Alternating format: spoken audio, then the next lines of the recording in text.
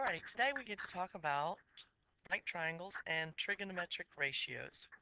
So, to go back to our unit circle, remember that our unit circle was a circle centered at the origin with a radius of 1, hence the name unit. So we had the equation x squared plus y squared was equal to 1. All right, that was our radius squared because we're on the unit circle. And we knew that, excuse me, any point on this unit circle corresponded to a point x and y, and we related the x value to cosine and the y value to sine. But our radius was 1. Um, again, here is our angle theta in standard position. So we knew that the cosine was the adjacent over the hypotenuse, which is why we're getting the x value of the adjacent side over the hypotenuse, which is 1. Well, this concept can be applied to a circle of any radius. So if you have that circle x squared plus y squared equals r squared, then going along with the same concept, theta in standard position, this is still my x, this is still my y, so to take the adjacent over the hypotenuse gives us the ratio of x over r. So that's where these ratios are all coming from, is thinking about that right triangle on any circle centered at the origin. So before we had the sine was just the y because our r was 1. But again, r can be anything. So you want to remember that sine theta is equivalent to y over r. Cosine of theta is x over r. Tangent of theta is y over x. And then you take each of those and just flip them to get the reciprocal. Cosecant, secant, and cotangent. So what kind of question might you be asked about this? For a standard position angle determined by the point negative 512, what are the values of the six trigonometric functions? Well, this is your x. This is your y. So remember your equation of your circle, which is x squared plus y squared equals r squared. Then that means that negative 5 squared plus 12 squared is equal to r squared. So we have 25 plus 144 is equal to r squared. And that, of course, becomes 169. And the square root of 169 is plus or minus 13. But the radius of our circle is always going to be positive. So we really only want the positive value because the negative is going to come from whether our x and y values are negative, again, depending on what quadrant. So you can go strictly off the ratios and the, um, excuse me, strictly off the coordinates and the ratios that we just defined. So if you did that, then that means that the sine of theta is y over r. So that's 12 over 13. And the cosine of theta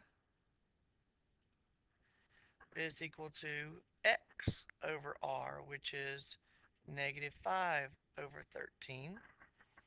And the tangent of theta is equal to y over x. So that's 12 over negative 5, or negative 12 fifths. And then, if you want to find the reciprocal sine, the reciprocal is the cosecant. Doesn't start with the same letter. You just flip it. Take the reciprocal, 13 over 12. Okay, the reciprocal of the cosine is the secant. So the secant of theta is negative 13 over 5. And the reciprocal of the tangent is the cotangent. So the cotangent of theta is negative 5 over 12. And there we have given the values of our six trig functions bad pox. okay, moving right along.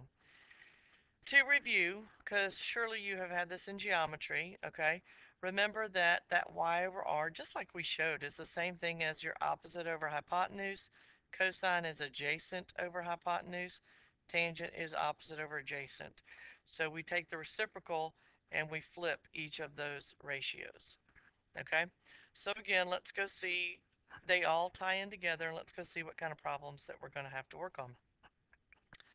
All right, we have finding the distance. We have the large glass pyramid at the Louvre in Paris has a square base, and the angle formed by each face of the ground is 49.7 degrees. What is the distance from the center of a side to the base? What is the distance from the center of a side of the base to the top along the lateral face? So what they're asking us for is this distance right here. And if you look in your book, there's a real a better picture of it you can see. But they are asking us for this distance. I have an angle. If I know that um, this is 35 meters, then hopefully y'all can see that this is half of 35, which is going to be 17.5. So I have an angle. This is this side is adjacent to the angle. This side is the hypotenuse because it is opposite my right angle. So I'm going to say that the cosine of 49.7 degrees is equal to adjacent over hypotenuse. Now to solve that, when you have it in your denominator, put it over 1 and cross multiply. So I have x times the cosine of 49.7 equals 17.5. And then I'm going to divide both sides by the cosine of 49.7. And this is the preferable way, especially if you don't have a calculator. You can do what you need to and then put it in the calculator at the end. So we'll find out that x equals 17.5 divided by the cosine of 49.7, which is 27.05. And I am measuring in meters, so I'm going to say that's 27.1 meters. Okay. Another type of question you might have is an angle DEF. Angle D is the right angle, and the tangent of E is 3 over 4. Okay, they want to know what the sine of E and what the secant of E, excuse me, secant of F is. Now, when you do these, you can either think of opposite, adjacent, uh, if you want to, or you can think in terms of Y and X. Both of them will work for your right triangle. They probably want us to do. Let's go make our right triangle. And we have to name some angle, E, so this is going to be E. D, they told me, was the right angle, and there's F. And if the tangent of E is opposite over adjacent, so that means this has to be 3, and this has to be 4. So put it in your Pythagorean theorem, which of course is going to be 3 squared plus 4 squared equals c squared, and you'll find out that c will be 5. And so now I need the sine of E.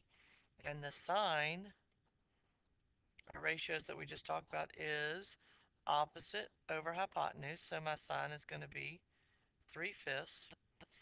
And my secant, secant relates to the cosine.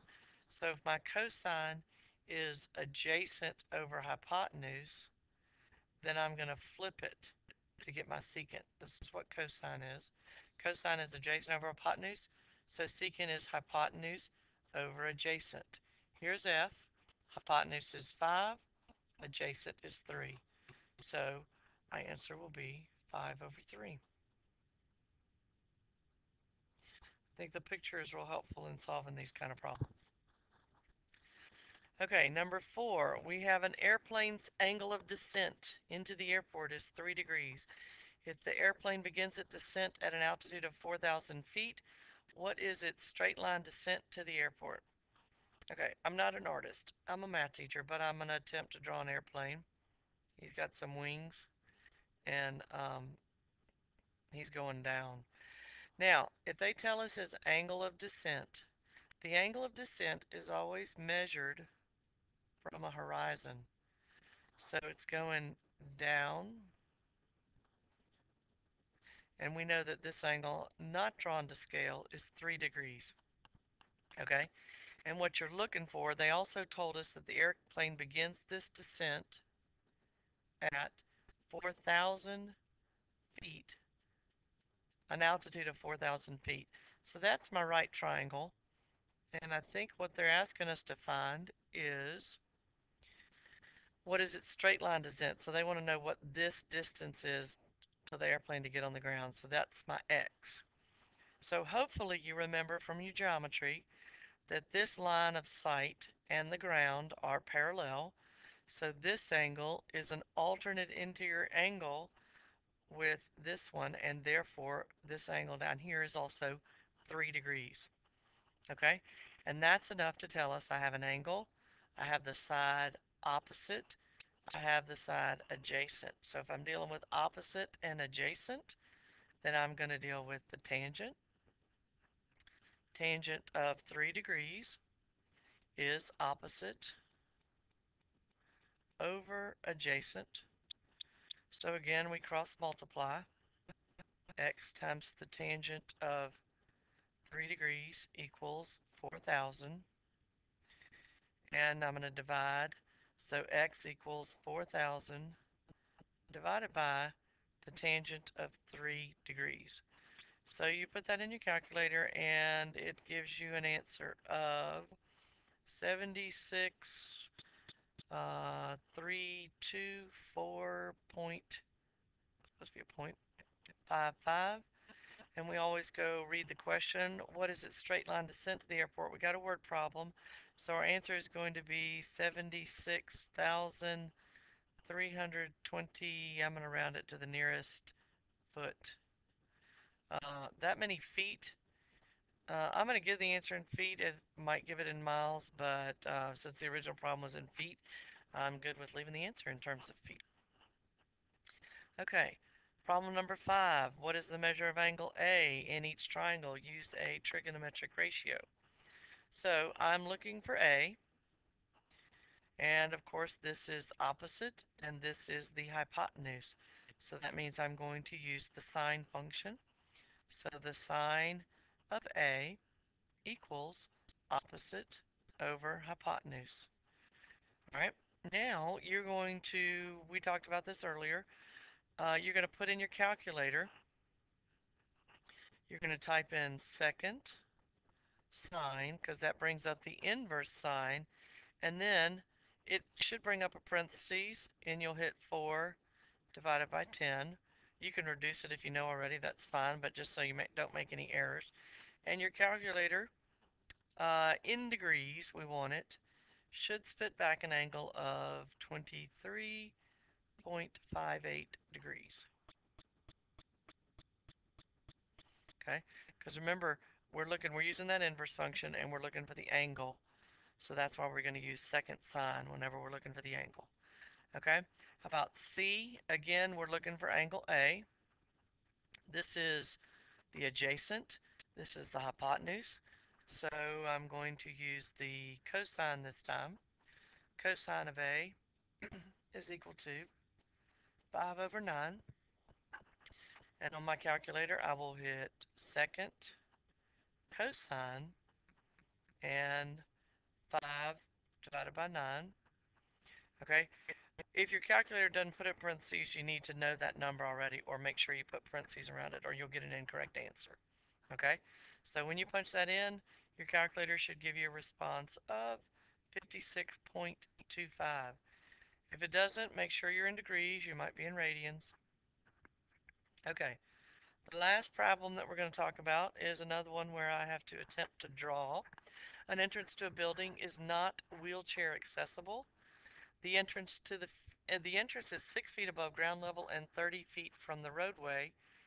Um, how long must the ramp be for the slope to meet the regulation of one inch rise for every one foot run?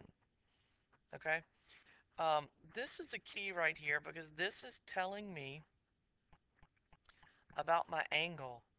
Okay, they're telling me that, you know, the slope of it, I have to have one inch for every foot.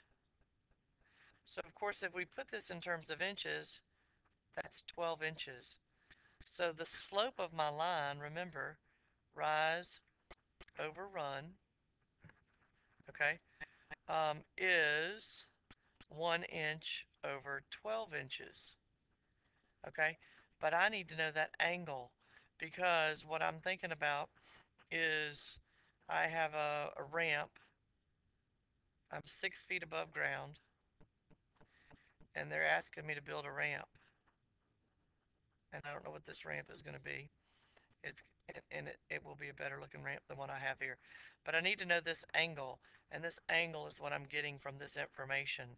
So from here, to find out that angle, to get the proper slope, um, I need this angle right here. So I'm going to say that the tangent of theta is equal to 1 over 12. Put that in your calculator, second tangent 1 12th, and you'll find out that theta needs to be 4.8 degrees. So this angle is 4.8. And they're asking me how long does the ramp have to be to meet that slope. So this is what we're looking for. Okay, so I have an angle, I have the opposite, and I have the hypotenuse. Opposite and hypotenuse means I want to use the sine function. So I have the sine of 4.8 is equal to opposite over hypotenuse. And again, we're going to cross multiply x times the sine of 4.8 equals 6. So x equals 6 divided by the sine of 4.8. And that gives you on your calculator an answer of 71.7. So the answer to my problem, how long must the ramp be? 71.7, what am I looking for? I'm in terms of feet. So that would be 71.7 feet. And that sums up our right triangles and trigonometric ratios.